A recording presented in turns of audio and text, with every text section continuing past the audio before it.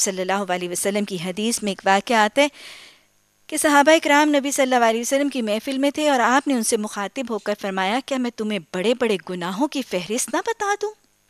کیا میں تمہیں بڑے بڑے گناہ نہ بتا دوں؟ اور پھر آپ نے فرمایا، آپ نے اس حدیث میں تین معاملات فرمائے۔ آپ نے فرمایا، شرک، والدین کی نا فرما برداری انشاءاللہ اس پہ بھی وضاحت سے بات ہوگی۔ شرک والدین کی نا فرما برداری۔ اور راوی کہتے ہیں کہ آپ ٹیک لگا کر بیٹھے ہوئے تھے اور آپ اٹھ کے بیٹھ گئے۔ اور آپ نے تین دفعہ فرمایا، جھوٹی گواہی دینا، جھوٹی گواہی دینا، جھوٹی گواہی دینا۔ گویا اتنی زیادہ تاکید کی گئی۔ کبیرہ گناہ ہے۔ بڑے بڑے گناہوں کی فہرست میں آپ نے بتا دیا، لیکن معاشرے کا حال آپ دیکھتے ہیں کہ جھوٹی گواہیاں کیسے رائج ہیں اور کیسے کسی کے خلاف جھوٹی گواہیاں دے کے کسی مظلوم کو پھنسا کر اور ظلم و زیادتی کا نشانہ بنا دیا جاتا ہے۔ اور پھر جھوٹ میں ایک اور معاملہ، جھوٹا الزام لگانا۔ جھوٹا الزام لگانے کے حوالے سے حدیث کے الفاظ آتے ہیں۔ آپ نے فرمایا موبقات۔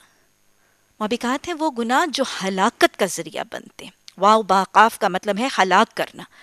موبقات سات بڑے بڑے گناہوں سے بچو۔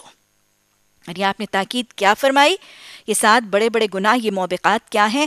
آپ صلی اللہ علیہ وسلم نے فرمایا، شرک، جادو، سود، میدان جنگ سے پیٹ پھیرنا، یتیم کا مال کھانا اور بھولی بھالی پاک دامن عورتوں پر الزام لگا دینا۔ جھوٹا الزام لگانا تومت لگانا، بہتان تراشی کرنا، یہ اتنا بڑا گناہ ہے کہ حدیث کے حوالے سے پتہ چلتا ہے کہ جھوٹی تومت اور الزام لگانے والے کی چالیس سال کی عبادت ضائع ہو جاتی ہے۔ کتنا مشکل ہے عبادات کا عمل۔ اور کتنا صبر آزما اور کتنی قربانیاں درکار ہیں عبادات میں۔ اور کتنا مشکل کر کے ایک ایک کر کے ہم ان نیکیوں کو جمع کرتے ہیں۔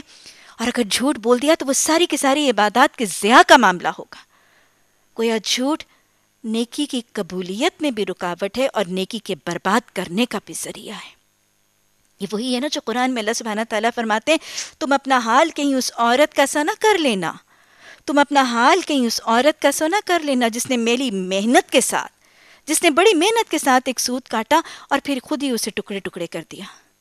تو بڑی محنتوں، ریاضتوں، مشقتوں اور قربانیوں کے ساتھ عبادت کر کے اگر زندگی میں جھوٹ رائج کر لیا اول تو وہ نیکیاں قبول نہیں ہوگی اور پھر باقی کی نیکیاں برباد ہو جائیں گی۔